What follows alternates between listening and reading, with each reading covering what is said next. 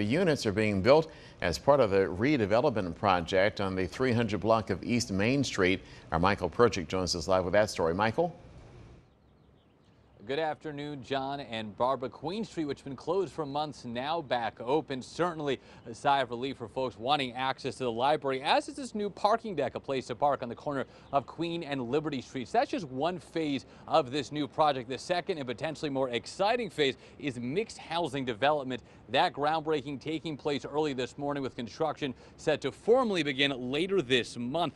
Now, this would feature units for people earning between 30 to 80 percent of the area median income, as well as market rate, 110 units in total. That entrance around the block on East Main Street. Durham, like so many other parts of the Triangle, feeling the impact of a boomtown. According to Triangle MLS, the average sales price in March was nearly $436,000. That's up nearly 80,000 bucks compared to March of 2021, with the recent pricing slowdown largely negated by rising interest rates. Perry Maines, the county's deputy director of engineering and environmental services, explained the impact of this project.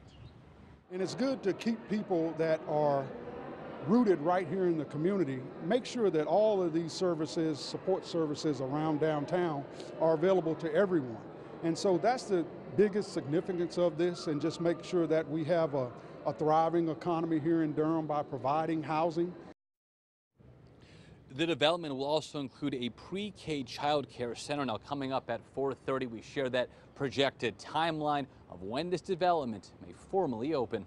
I'm Michael Perchik, ABC 11 Eyewitness News.